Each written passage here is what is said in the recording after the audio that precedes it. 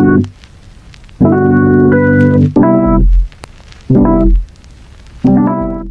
turma, bem-vindos a mais um vídeo. Como vocês estão? Vocês estão bem? Já lavaram as mãos hoje? Lembrem-se de continuar em casa, sair somente em caso de necessidade, sempre usando a sua máscara, passando o álcool em gel e respeitando a distância entre as pessoas.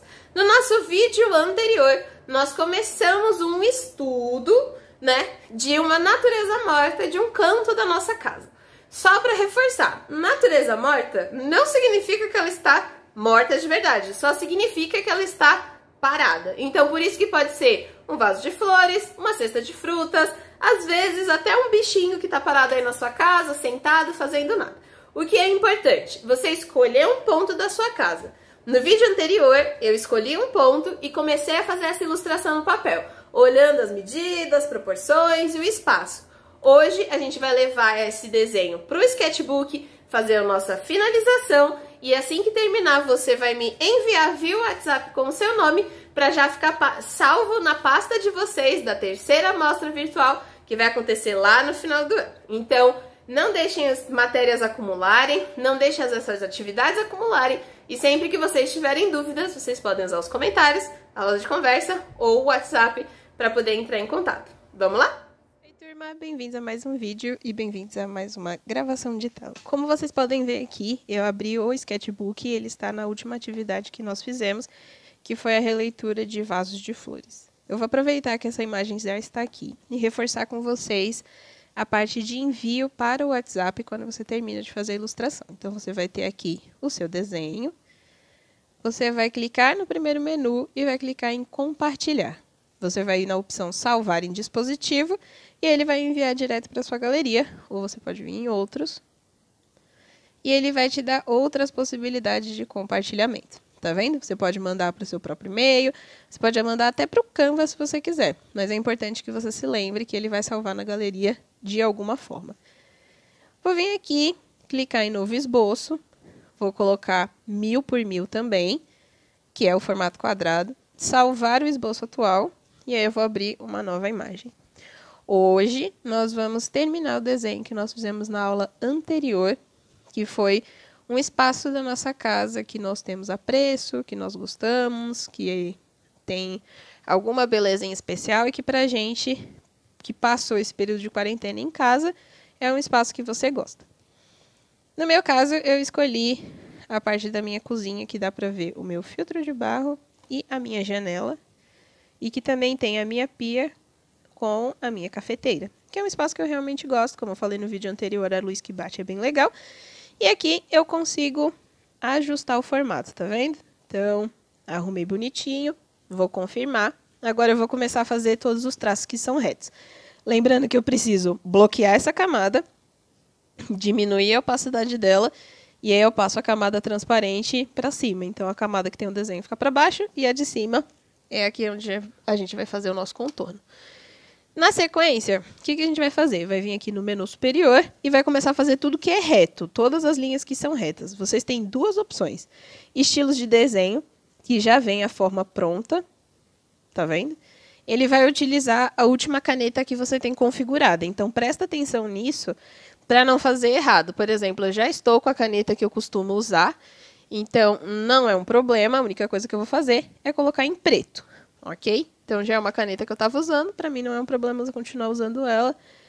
E ela vai ser a que eu vou usar para fazer as marcações. Tamanho, sempre que você arrasta para a esquerda, você diminui, quando você arrasta para a direita, você aumenta.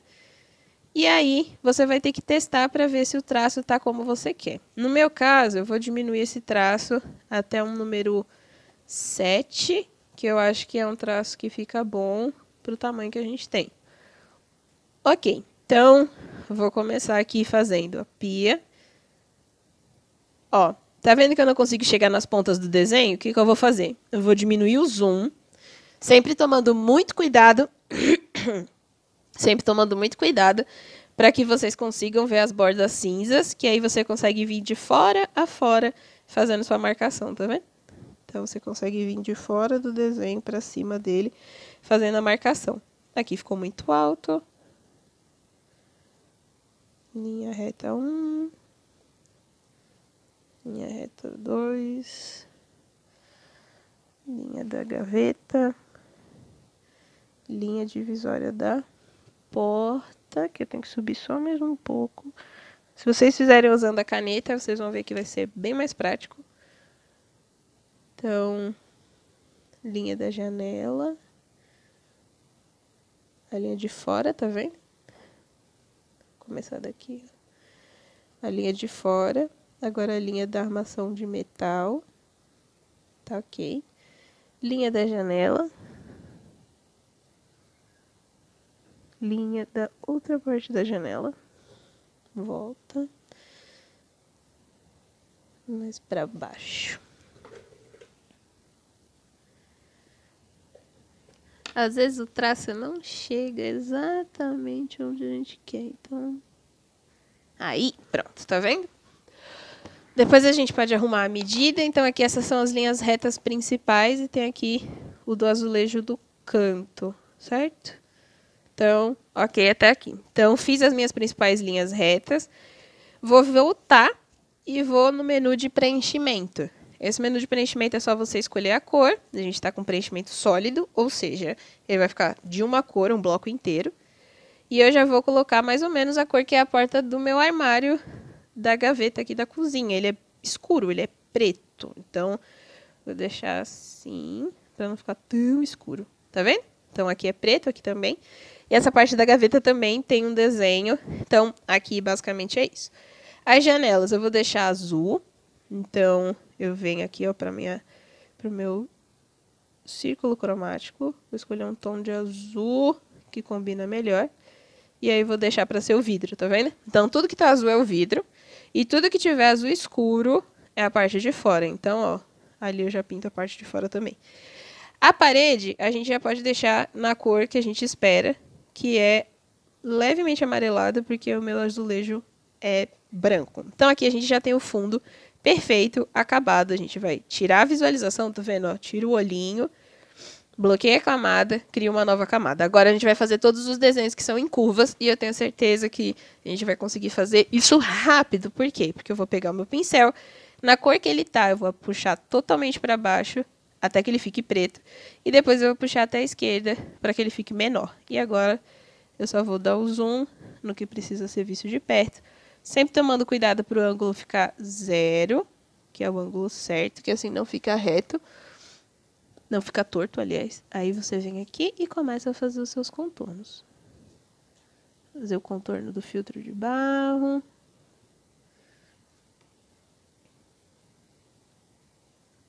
Aqui é o momento que a gente pode pegar e usar a ferramenta de simetria. Deixar aqui, tá vendo? Do jeito que tá.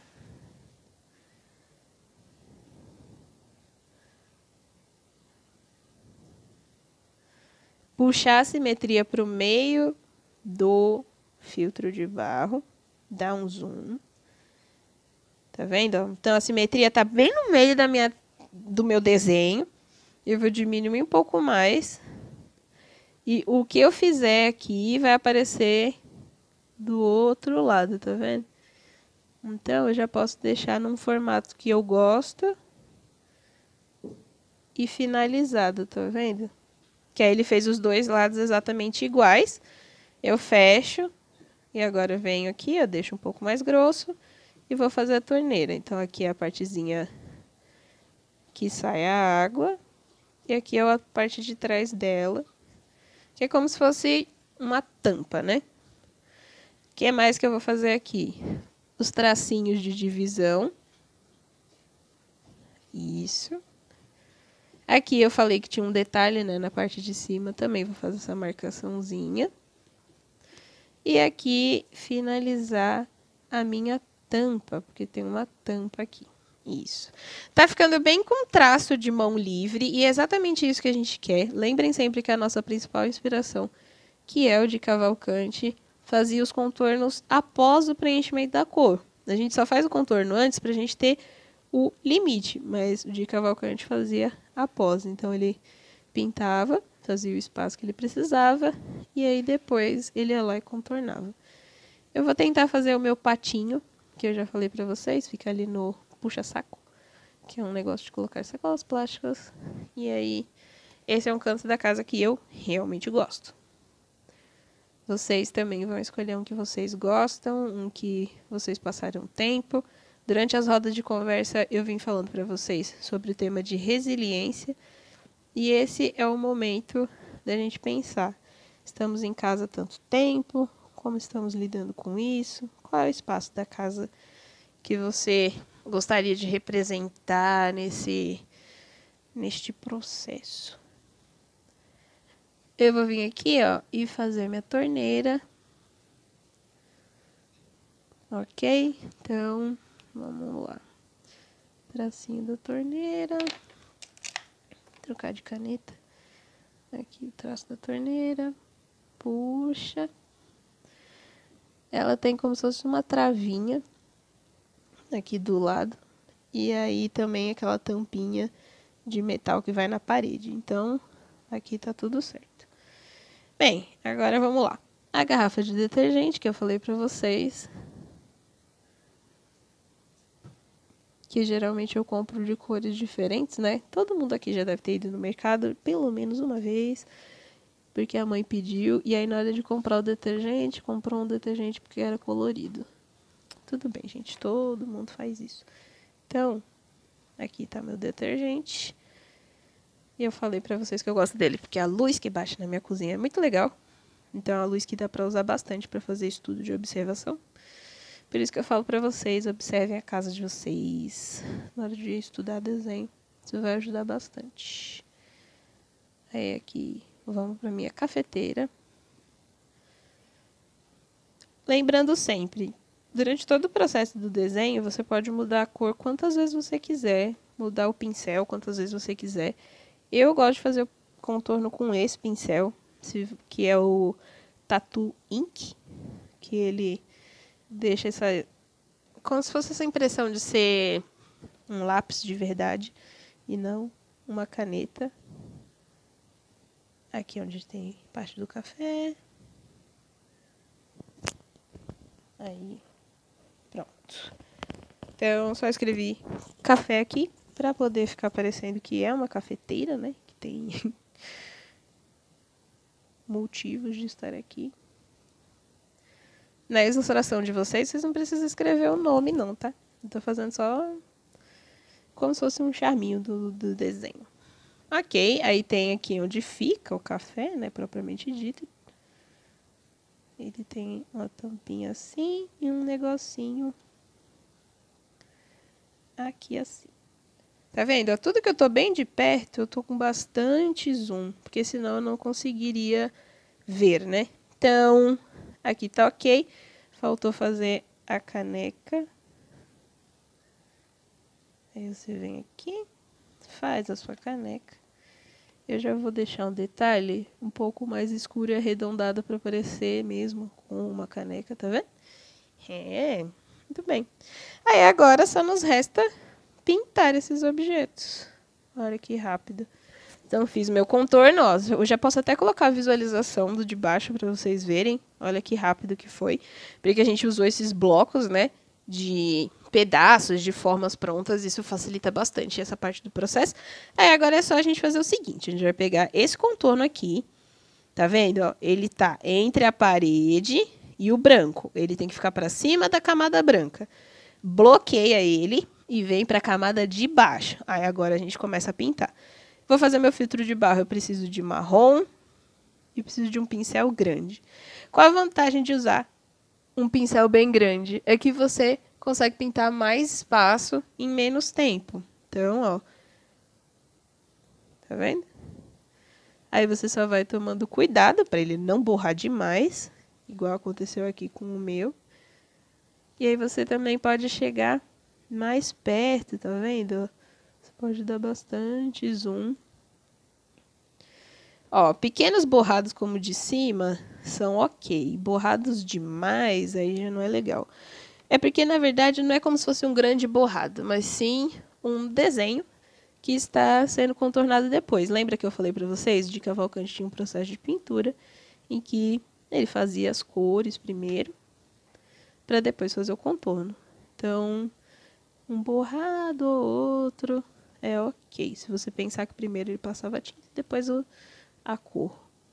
Aí aqui, ó, a gente toma bastante cuidado. Vai ficar parecendo aqueles desenhos animados que passam no Cartoon, que nem Irmão de Jorel, por exemplo, que vocês já falaram na roda de conversa, que tem o desenho e os contornos eles passam o preenchimento. Isso também é uma técnica que é usada em produções que vocês assistem, tá vendo? Então é legal ter um contexto histórico. Você pode falar, olha, eu assisto Irmão de Jorel, e Irmão de Jorel parece que é preenchido pelo de Cavalcante. Pronto. Aí você tem assunto. Bem, então eu vou pintar tudo aqui. E é o que eu vou fazer. Quando eu finalizar toda a minha pintura, eu vou salvar, igual eu mostrei para vocês no começo do vídeo, eu vou salvar isso e vou enviar via WhatsApp com o nome. Por quê? Porque aí já vai ter completado a segunda atividade da amostra. Como assim segunda? Como tive segunda atividade? Semana passada nós fizemos justamente o vaso de flor que estava no começo desse vídeo. Então, assim, começou esse vídeo, viu seu vaso de flor? Me envia. Fez esse aqui, que é o espaço especial da sua casa? Terminou? Também me envia. Por quê? Porque aí, como eu já venho falando nas rodas de conversa, você já vai ter feito duas das atividades que são para mostra e você não vai precisar ficar acumulando tarefa. Entendeu? Então é por isso que eu estou pedindo agora.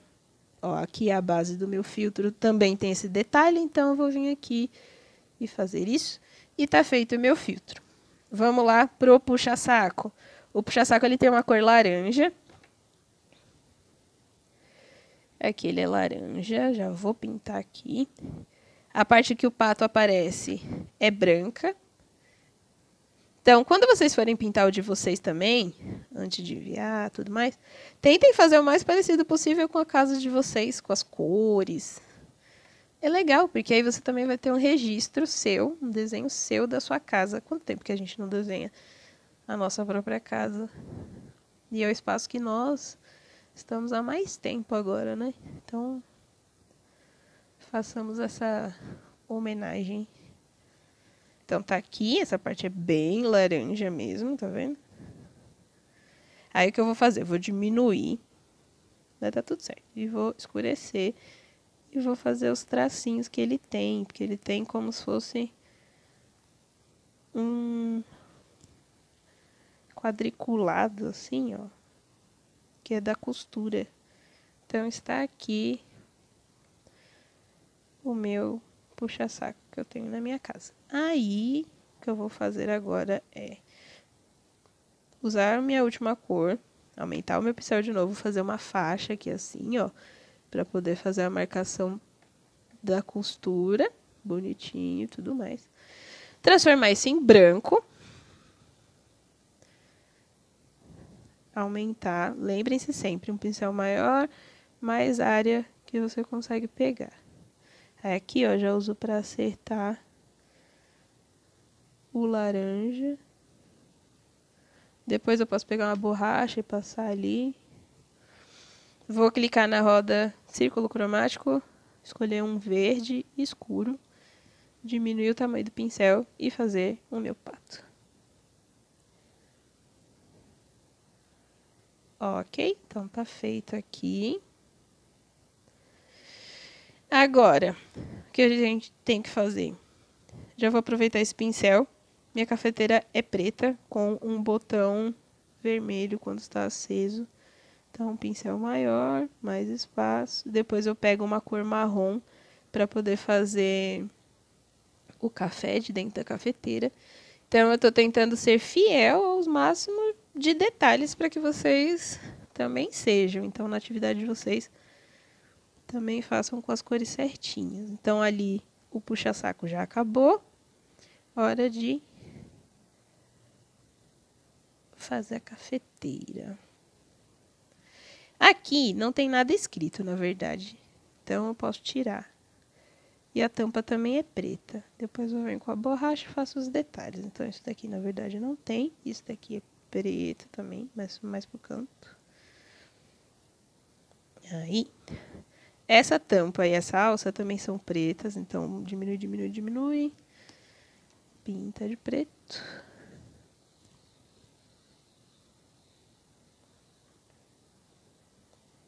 Pronto, preenche a tampa.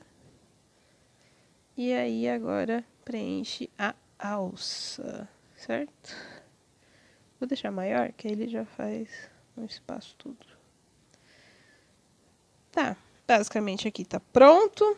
Depois é só passar a borracha. Vou aproveitar, pegar o conta-gotas, escolher um tom de cinza da parede para preencher e ser o prata da torneira. Vou até diminuir aqui a cor. Tá com bem cara de estudo mesmo, de desenho, de observação. Tá vendo? Então procurem testar o máximo de possibilidades possíveis que vocês tiverem, ok? Lembrando que depois vocês vão adicionar os seus detalhes de luz, de sombra, tudo direitinho. Então, o que eu vou fazer aqui é só pintar a base e depois o de vocês, vocês fazem completinho e me enviam via WhatsApp com seu nome, ok?